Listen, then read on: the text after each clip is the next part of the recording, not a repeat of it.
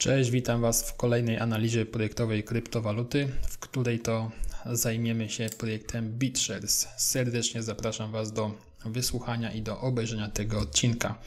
Projekt BitShares, BitShares Blockchain chyba najbardziej znany jest tego, że umożliwia właśnie tworzenie własnych tokenów na tym protokole oraz ich wymianę w ramach tego protokołu. Z ciekawych rzeczy Tutaj jedną z osób, pomysłodawców i bezpośrednich wykonawców tego projektu jest bardzo znana postać w świecie kryptowalutowym, czyli postać Dana Larimera, osoby odpowiedzialnej również e, m.in. za projekt EOS.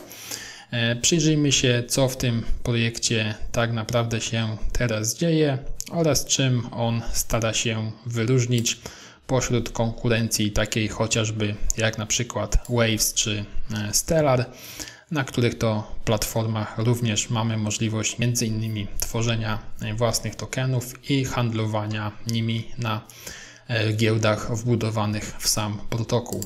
Jeśli chodzi o BitShares na portalu CoinPaprika, zakładka Code Progress tutaj sygnalizuje nam e, dosyć nieduże zaangażowanie, przynajmniej w ostatnim czasie, zespołu deweloperskiego. Tutaj pamiętajcie e, to, że tak naprawdę ten wykres jest podłączony do jednego z repozytoriów, a tych repozytoriów w ramach organizacji na GitHubie przeważnie jest co najmniej kilka, dlatego e, warto również sprawdzić, co dzieje się e, w pozostałych repozytoriach, wykonując to w sposób, który właśnie omawiam w swoich filmach na tym kanale.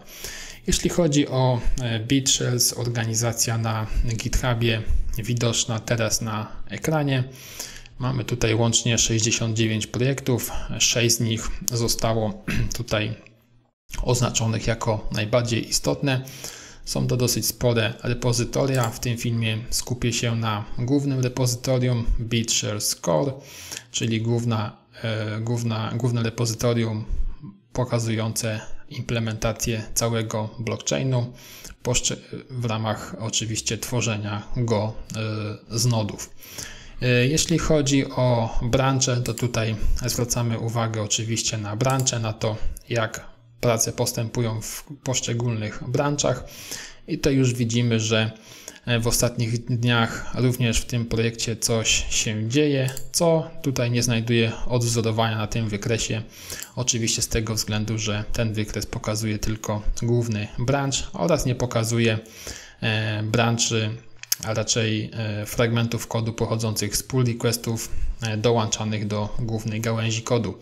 Jeśli chcemy się rozeznać, jak dany branch wyprzedza główny, to patrzymy na tym wykresie na prawą stronę ekranu i widzimy, że e, ten na przykład branch testnet jest z wyprzedzeniem do głównej gałęzi kodu o 457 commitów, a do tyłu o 60, czyli główna gałąź kodu wyprzedza go o 60. Oczywiście tutaj w kolumnie po prawej stronie sprawdzamy, czy E, te branże są zmerdżowane, co sygnalizuje nam ten fioletowy przycisk, czy jest założony już pull request oraz czy e, te pull requesty jeszcze nie są utworzone, co umożliwia ta właśnie ten przycisk compare.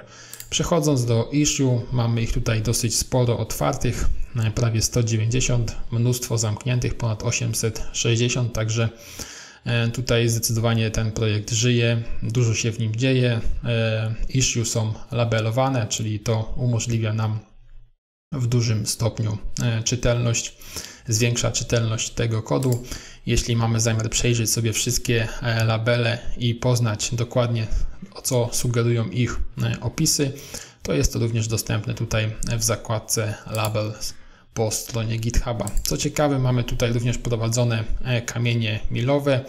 E, część z nich nie jest aktualizowana, część z nich e, jest również jednak aktualizowana, tak na przykład feature release, czyli kolejna wersja oznaczona numerem 4.1.0, po kliknięciu na którą widzimy jakie issue muszą zostać rozwiązane, aby ten release i ten kamień milowy został osiągnięty.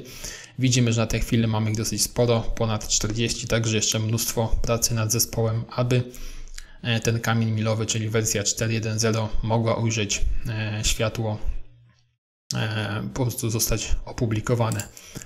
Pull requesty, również mnóstwo otwartych pull requestów, na których toczą się prace. Oczywiście tutaj sugeruję sprawdzać również w jaki sposób trwa dyskusja w ramach rozwiązania konkretnego pull requestu, co sygnalizuje nam tutaj ta ikonka informująca o tym, ile właśnie, e, w jakiej ilości dyskusje tworzą się w kontekście danego pull requesta czy też issue.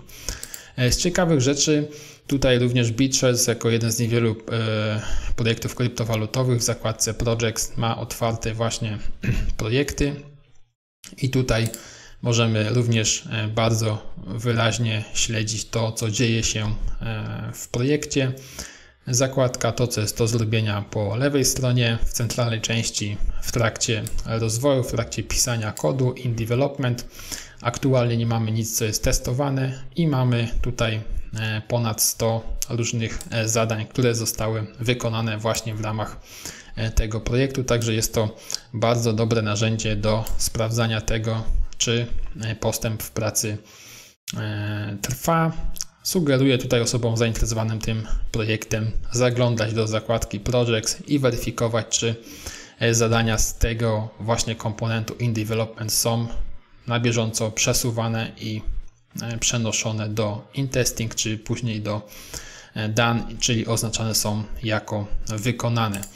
Jeśli chodzi o zakładkę Security, to tutaj po stronie GitHuba nie mamy żadnej informacji o, o programie Bug Bounty, ale co ciekawe, jest do tego e, dedykowana strona pod adresem hackeddex.io, która właśnie e, opisuje e, schemat funkcjonowania programu Bug Bounty dla tego projektu. Programu Bug Bounty, tutaj przypomnę, program ten umożliwia nagradzanie osób, które znalazły błędy związane z bezpieczeństwem w poszczególnych komponentach całego projektu, za co te osoby są nagradzane. Także to jest bardzo nowoczesne i prawidłowe podejście w całym cyklu tworzenia i rozwoju oprogramowania i oczywiście skutkuje zwiększonym bezpieczeństwem e, całej platformy, a te platformy bazujące głównie na rynku finansowym myślę, że jak najbardziej powinny dbać o bezpieczeństwo swoje, jak i bezpieczeństwo środków umieszczonych w ich protokole poprzez użytkowników.